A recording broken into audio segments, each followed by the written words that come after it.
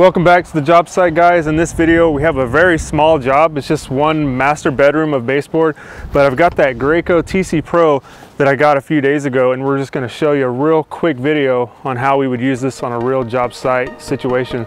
So let's go inside and check it out.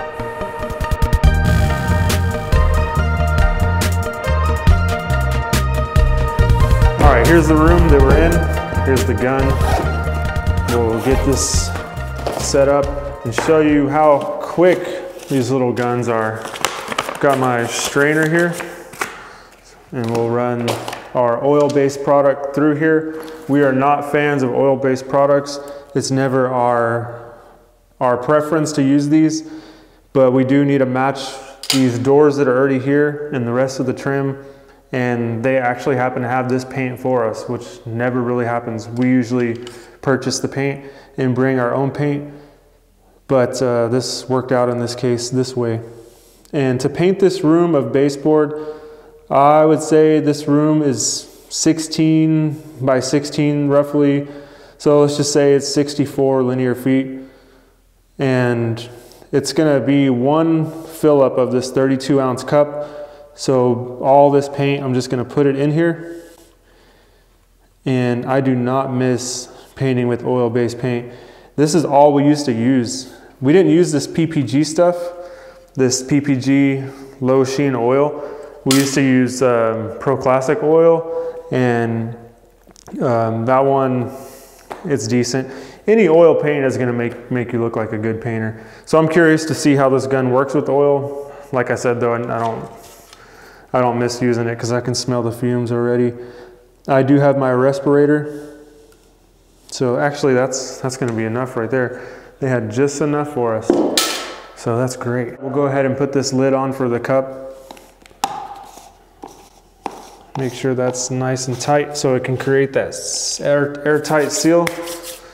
And yeah, this stuff. Got my battery here. Basically what we're gonna do, since we don't wanna be in this room with this oil-based product, me switch to that FFLP tip. I'm just gonna spray this and then we're getting out of this room. The battery, the cup with the material, then we'll, per we'll relieve all that air. So that air is all out. Prime it.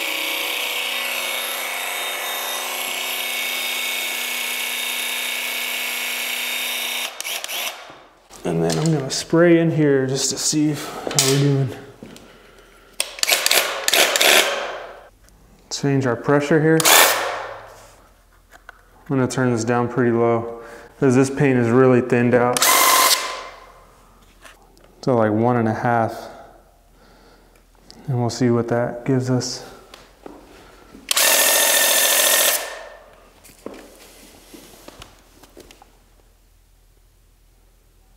Let that set for a second. That stuff right there is running pretty bad. It's always a good idea to do this because you don't want to just start spraying paint and it's like you need to figure out the consistency, especially a paint you're not familiar with that someone already, somebody already thinned out for you. All right, so what I decided to do, I'm gonna go ahead and switch tips. This is a 210 tip, it has a four inch fan, it's a five and a quarter base. I should have thought about that before I put that tip on there. So I'm just gonna use the kit tip and try that out. So we'll do this. We'll use the kit tip and see how that works out. Yeah, I got a way bigger fan there to cover this, cover this whole thing in one pass. Now we do have our door, um, door stop hardware already on there. We were told to just put it on there because it's got, it's got paint on it from the previous baseboard anyways. So we're gonna paint over that and then we'll screw the um, actual bronze hardware, whatever it is, back on at the end. So if you're wondering why that was there. All right, here we go.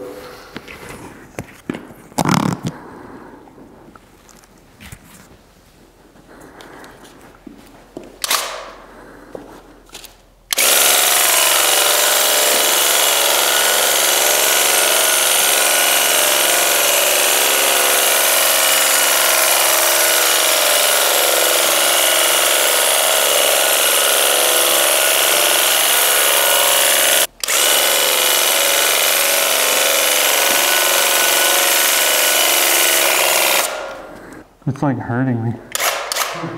yeah. That's so weird. How is that possible? I don't know.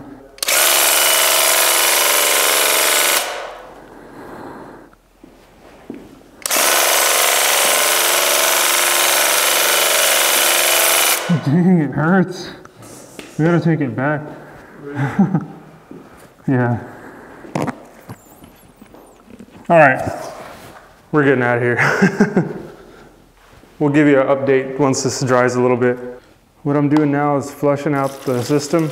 We already sprayed this and I sprayed it twice. We didn't do the other one because it's the same exact video, but um, I just had like a better, better angle on it the second time. So like we let it dry for a little bit and we could see that it needed another coat. I was being real easy with that first coat because I didn't want to have this stuff run. This paint is like water, whoever thinned it out. But uh, one thing that happened to me while I was spraying was I was getting shocked by the freaking gun. I was holding the trigger down and I wasn't talking about it or anything because I wanted to just spray it and get it over with. But it's like every two or three seconds, it was like on my finger here and like on this part of my thumb. So I don't know what the heck that was. But while I'm cleaning this gun out, I haven't got shocked once. I don't know if anyone can help me out with that. I will definitely return this gun if it shocks me like that and I can't figure out why. It's, it's not worth it to be getting shocked. So just upon looking at this, just inspecting it while it's still very wet, it's hanging really good, the paint is. The sprayer did a good job applying it to the surface. You know, that's all through the user basically, the pressure that I put it on, how fast I'm walking when I'm spraying it. But it looks really good. I would prefer to have used the FFLP tip, but like I said, since this is oil, we're not gonna have any issues with a fine finish here. So it did a good job. I give it a good, a good star, a five star rating on the finish and how this looks, but I give it, I don't know, a one on shocking me. I don't know what, what that was about. The Graco TC Pro, a shocking experience. Oh no, oh no, that's not good. You don't want that tape to ever fall down and touch the floor. It has happened to us. And on those days, we don't really get a lunch break because we have to work on cleaning that stuff up.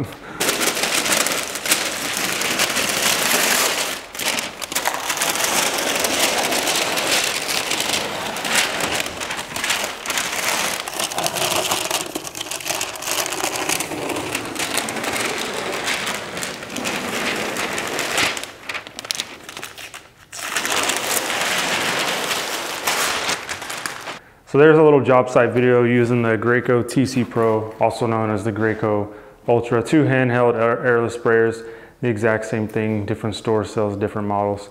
So you can see how easy it is to set up one of these little handheld sprayers and clean it up without having to bring out the big rig. Perfect for a small job like this. Overall satisfied with the finish. Don't know what the shocking was about. But if you do, leave it in the comments because I'm calling Graco tomorrow to see why that's shocking me. Could be my own fault, could be something you guys know or whatever, but I'll give them a call tomorrow, see what that's about, keep you updated. But as for, as for now, that's gonna do it for this video and we'll see you all in the next video. Take care.